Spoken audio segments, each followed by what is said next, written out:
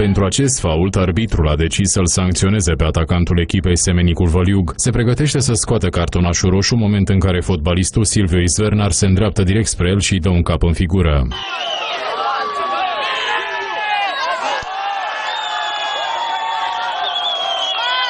Arbitrul a decis imediat să suspende partida dintre Semenicul Văliuc și Minerul Anina. Era finala Cupei României, faza județeană, așa că echipa atacantului agresor a pierdut, iar Anina a primit trofeul de câștigătoare. Totodată, fotbalistul a fost suspendat, iar arbitrul a avut nevoie de îngrijiri medicale. Mai grav este că de pe margine câțiva suporteri aprobau gestul violent al jucătorului.